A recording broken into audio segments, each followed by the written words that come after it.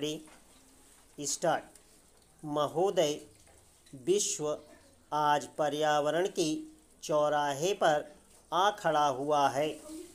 अब वातावरण प्रदूषण की समस्या को हल करने में हम कितने सक्षम सिद्ध होते हैं।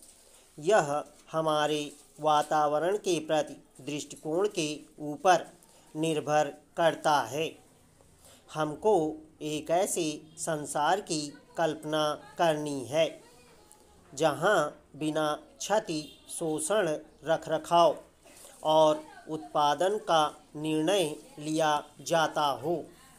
हमें एक ऐसे विश्व की कल्पना करनी है, जिसमें हमारा एक हर फैसला पर्यावरण को क्षति पहुँचाए बिना उसकी सुरक्षा कर सके और नई चीज़ों को बनाने के लिए किसी प्राकृतिक चीज़ को बर्बाद ना करना पड़े।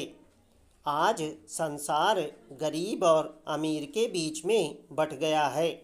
उन लोगों के बीच में बट गया है जिन्होंने अपने भौतिक सुख की खातिर संसाधनों का अनुचित तरीके से दोहन किया है। तथा आज भी अंधे जीवन यापन की खातिर इनका गलत उपयोग कर रहे हैं। तथा दूसरी ओर वे लोग हैं जो विकास की परिधि के किनारे खड़े हैं और विकास के फल नहीं भोग पा रहे हैं।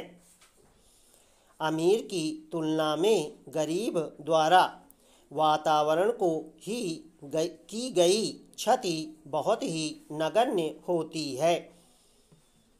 हर संसार की 20 प्रतिशत जनसंख्या दुनिया के 80 प्रतिशत संसाधनों का उपभोग कर रही है।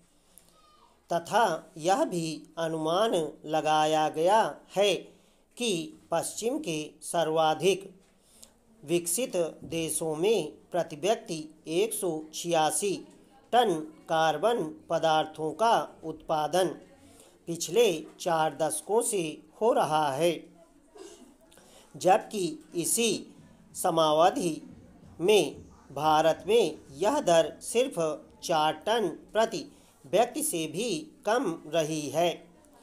एशिया एवं अफ्रीका में पर्यावरण के बढ़ते प्रदूषण का एक मुख्य कारण यहाँ जनसंख्या वृद्धि की ऊँची दर को बताया गया है, जो कि सत्य नहीं है।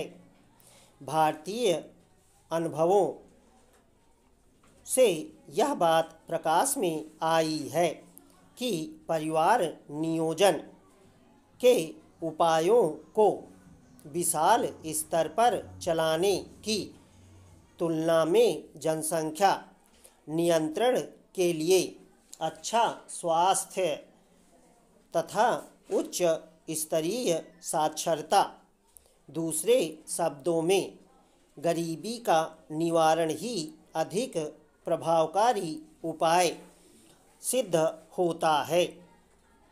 कुछ लोगों का कहना है कि रेगिस्तानीकरण तथा ओजोन परत के सिकुड़ने के लिए विकासशील देशों में आयन वृत्तीय क्षेत्रों में बड़े पैमाने पर वनों की कटाई ही जिम्मेदार है।